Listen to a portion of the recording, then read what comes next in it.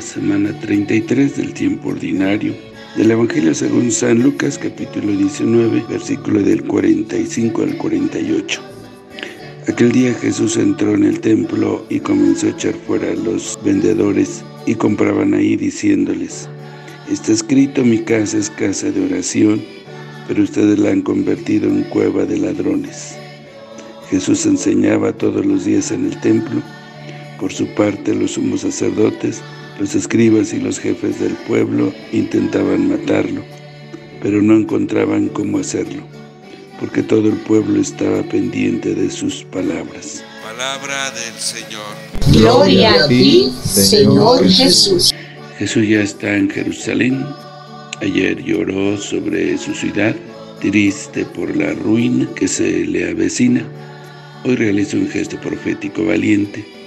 La interpretación más difundida sobre este episodio consiste en decir que Jesús quiso la purificación del templo. Pero, ¿qué habría que purificar en el templo? Los sacrificios de animales eran parte esencial del culto religioso, y para sacrificar los animales habría que adquirirlos. ¿Es que los vendían demasiado caros? es que con eso hacían negocios los sacerdotes.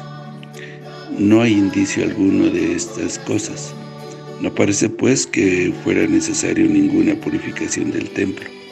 Entonces, ¿por qué hizo Jesús una acción tan provocativa que resultó ser la acusación más fuerte que se hizo contra él en el juicio religioso y el motivo de burla cuando estaba en la cruz? Se ha dicho que el gesto de Jesús fue una acción simbólica ¿En qué sentido? La acción de Jesús fue un ataque al templo. Jesús se enfrentó directamente a la religión que tiene su centro en el templo. Fue un ataque que se vio como un anuncio de la destrucción de la religión del templo. Los primeros cristianos estaban convencidos de esto. De ahí la acusación que hacen contra Esteban, en Hechos 6. Lo que Jesús pretendía era la desaparición del templo que sería sustituido por el templo nuevo. Ahí se veía la opresión de los débiles, el robo, la mentira. Eran cosas que Dios no soportaba. Y Jesús venía a restaurar el culto de Dios. Inaugura un nuevo estilo de culto. Jesús se ganó enemigos entre todos los que defendían su puesto ahí.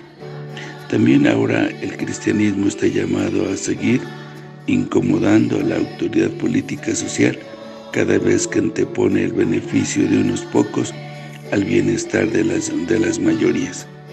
Nosotros, la Iglesia de Jesús, debemos ejercer este papel misionero de anuncio por un lado y denuncia por la voluntad de Dios. La autoridad religiosa de la época de Jesús prefiere eliminarlo, pues no soportaba el poder de convocatoria que ejercía sobre aquellos que eran subyugados y veían en él al Hijo de Dios, que veían a liberarlos. También ahora el cristianismo está llamado a seguir incomodando a la autoridad política y social cada vez que antepone el beneficio de unos pocos al bienestar de las mayorías. Nosotros, la Iglesia de Jesús, debemos ejercer este papel misionero de anuncio por un lado y denuncia por el otro. Incluso ello significa la hostilidad y persecución. Que el Señor los bendiga.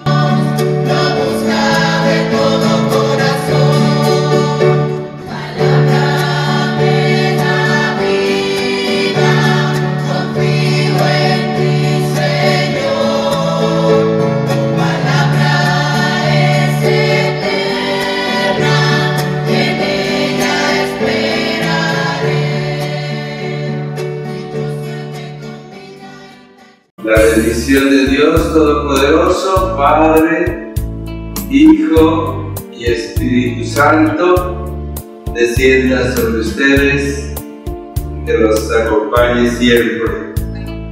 Que el Señor los bendiga. Si te gustó este video y deseas seguir recibiendo el Evangelio, misa en vivo, oraciones y muchas reflexiones más, Ayúdanos a seguir creciendo.